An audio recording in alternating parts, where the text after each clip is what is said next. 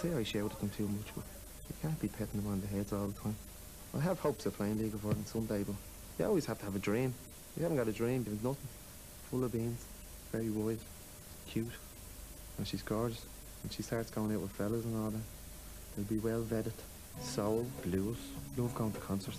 I'd even listen to a bit of classical music. The lads I drink with, was, they just don't care. Like, they're real easy going and they say what they mean. Oh, bother, point of Harp, uh, get it? And just give it a good sweet pound and it feels nice going in. Does me. Me? Love to be famous. I just love it.